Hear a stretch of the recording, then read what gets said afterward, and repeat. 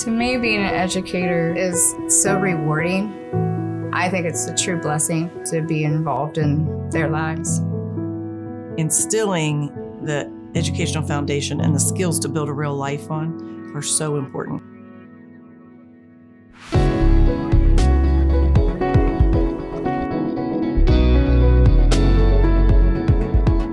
We are one of the top rated schools in the city.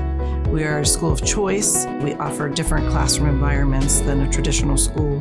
We try to reach students at different levels and different learning modalities, and the STEAM program really helps um, students learn differently and experience real world situations that they may not receive in another educational environment. It is fun, it's hands on, they don't have to sit there, they can move, they can ask questions. We're building a beach, we're building restaurants, we're building hotels, we're building banks, parks. They really are the facilitators of their learning, and so I don't think they actually even know that they're learning different things. They're just in there and practicing and doing these projects, but they are learning while having fun.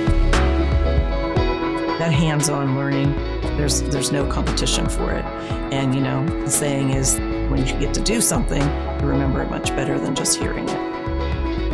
I want to see students that come here be proud of themselves, um, be better people. That's hugely important part of Southside Academy is just really turning out better people into our world.